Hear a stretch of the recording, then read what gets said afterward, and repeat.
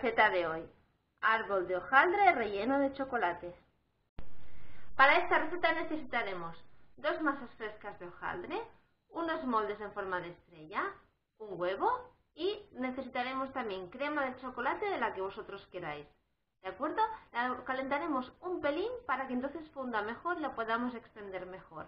Y como siempre ya os digo, los ingredientes y cantidades exactas al final del vídeo.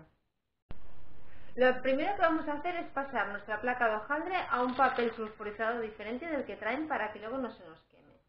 Y ahora empezaremos a poner nuestra crema de chocolate en el centro y intentaremos empezar a extenderla con forma de arbolito, según la medida que nosotros queramos darle.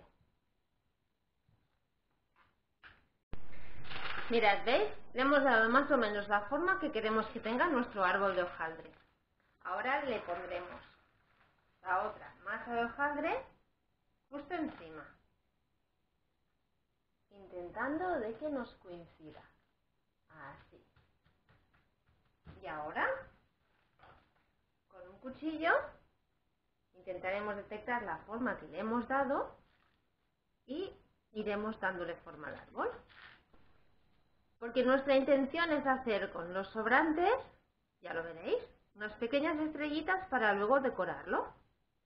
Así nuestros peques cuando llega a la mesa aún alucinan más. Así que vamos a darle toda la forma.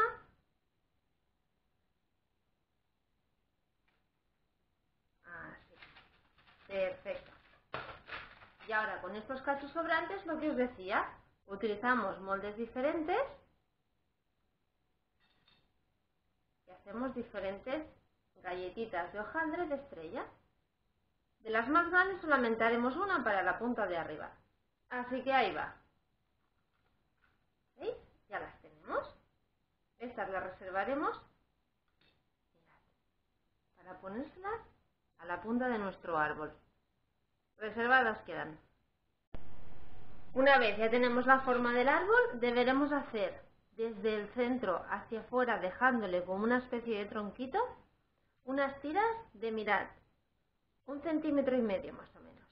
Mirad, ya lo tenemos todo marcado y ahora no es nada más sencillo que mirad, aquí en la base le vamos a hacer así, como un pequeño triangulito que nos dará mucho más juego a la hora de enrollar la tira.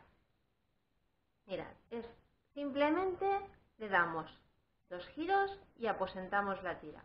Siguiente. Uno, dos giros y aposentamos la tira.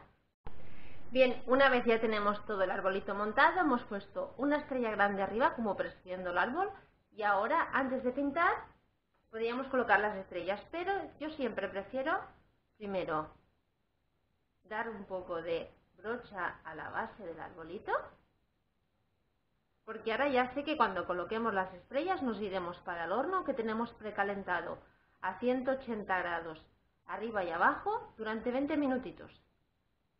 Así que, una vez pintado, colocamos nuestras estrellitas donde más nos guste. Mirad, no me diréis que no queda chuli, ¿eh? Bien, como veis, yo le he añadido un poquito de azúcar glass a simulación de nieve, pero eso al gusto. Así que, si os ha gustado, espero que lo hagáis mucho esta Navidad. Y ya sabéis, suscribiros al canal y nos vemos en la próxima receta. Hasta pronto amigos, nos vemos.